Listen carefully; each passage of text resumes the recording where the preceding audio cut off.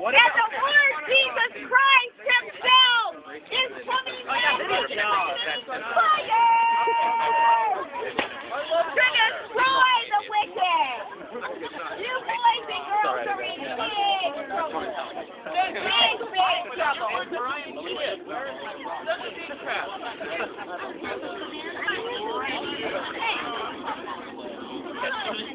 Why did you? Run. Wait, wait, wait, no, no, no, no. Hey, you need your clothes on. Wait a second. You say if you're a Christian, you shouldn't be strutting around people like that. Look, people struggle at. You say that God hates us. Okay, what about the Bible story about the Hebrews going to Israel? What about that story? Oh, talk to him if you're all upset. Julie doesn't believe the Bible anyway. It's his comfort. Do not touch him. Just you have no power to judge him. No, what I'm saying. No. You are. No. You're a bunch of nonsense. Let her talk. You're a bunch of nonsense. Don't answer hate with hate.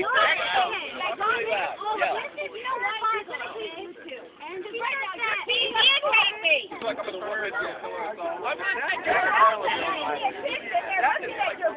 We're all paying attention to her more than we are to you.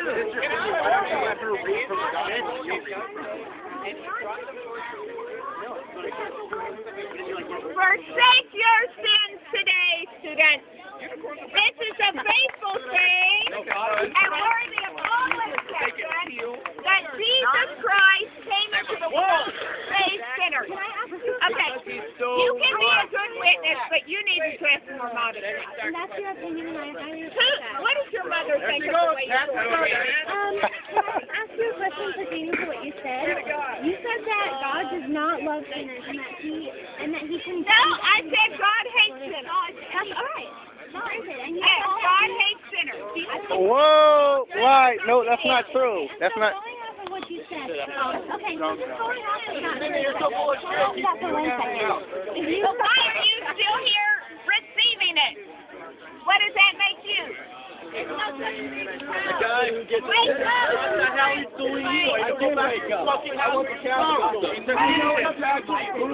wrote the Bible and why? Did you know in 1963 the Council Vatican openly You're supposed to be in your house cleaning and away to your husband, not here.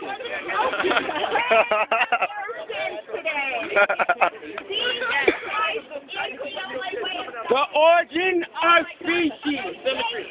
Yeah. Origin of species. This is a faithful saying and worthy of all acceptance that Jesus Christ came into the world to save sinners.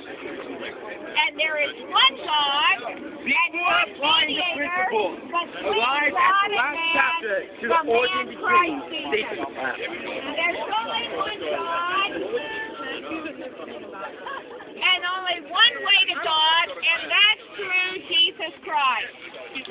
Wow. Okay, you're all getting way too emotional. What?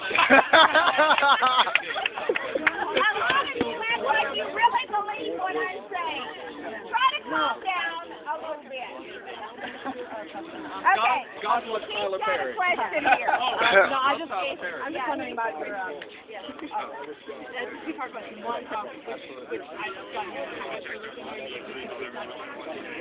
I am a Protestant Bible believer. Um, how do you feel about, um, the condition that for, like, people who aren't Protestant? The